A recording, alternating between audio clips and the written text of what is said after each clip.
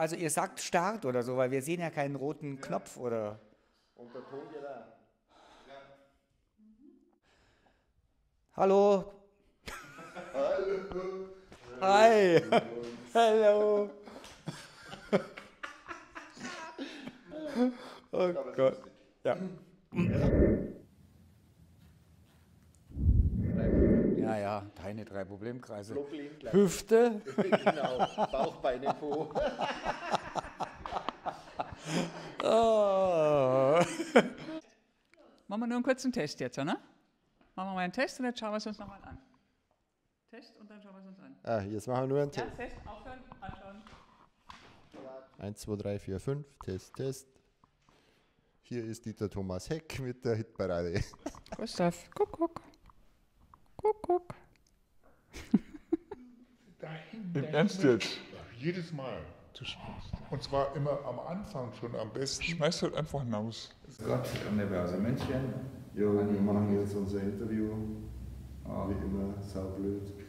Mal ein bisschen rüber zu mir. Das Mikrofon ist dann schon so weit weg und ich so gut. schreien. Manfred Schmidt, Leiter der Marktsteuerung und Ulrich Kirstein, Pressesprecher der Börse München oder auch Waldorf und Sattler von der Börse München.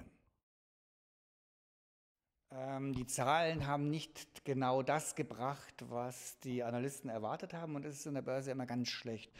Und was war jetzt die Folge bei Facebook genau? Die Frage verstehe ich jetzt nicht. Die, was die Folge war, wie hat sich das auf den Kurs ausgewirkt? So, die haben fast 20 Prozent verloren. Vielen Dank, Mani, für diese Auskünfte. Bewegen wird sich nicht viel. Wir bewegen uns auch so äh, zu einem zweiten Interview hin, schätze ich mal, weil da doch ein bisschen viele Äs waren zum Beispiel am Anfang. Ja, auch noch der Zettel im Bild und Tosenmuster an und so machen. Tosen? Scheiße. Wir sind halt offen an der Börse. Was soll ich dazu sagen? Ähm, die meisten Leute oder die, die, Investoren oder Analysten fragen sich, was er damit gemeint hat. Er will sein Unternehmen von der Börse nehmen. Er war schon immer nicht so ganz glücklich über die Börse, über Analysten, über Vertragszahlen, über lästige äh, Analystenfragen.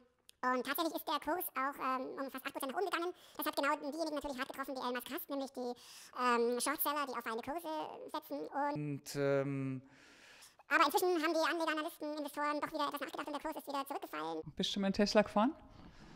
Bin noch keinen gefahren, wurde beinahe mal überfahren, weil die ja so leise sind. Es wäre dann wenigstens eine saubere Sache gewesen. Das überhaupt noch, ja. ja, eben. Was bedeutet das? Hallo, hallo? Hallo! Wieso blinkt es da rot? Vielen Dank für diese Ein- und Auskünfte. Vielen Dank fürs Reinschauen. Morgen ist ja bekanntlicher, bekanntlicherweise in den USA Horrortag für alle Truthähne. Äh, was die Woche bringt, äh, was mit dem Börsengang ist und äh, mal so, mal so, mal so. Boing, Punkt.